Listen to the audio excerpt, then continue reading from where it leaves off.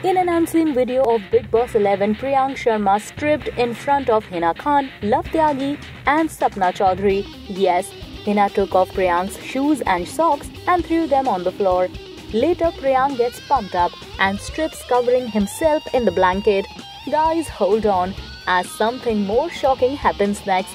Love takes off Priyank's pants and make him completely naked. And the contestants present in the bedroom enjoyed Priyank stripping off. Guys, don't you find this downright disgusting and creepy?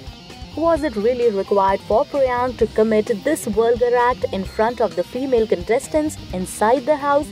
Let us know by dropping in your comments. लहरे को 30 years हो गए हैं best wishes to लहरे